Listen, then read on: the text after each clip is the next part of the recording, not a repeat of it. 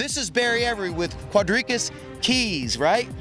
And he is from Walker High School in Alabama. And he is our wide receiver MVP? Seven on seven. Seven on seven.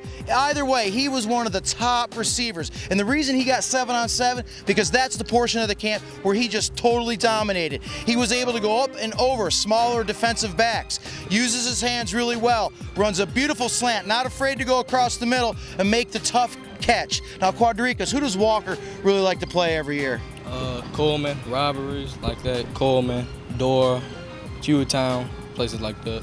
Did you start this past year? Yes, sir. How many catches did you have as a sophomore? Uh, I played mostly defensive back, but I had four interceptions. Four picks, huh? Are going to play both ways this year? Yes, sir.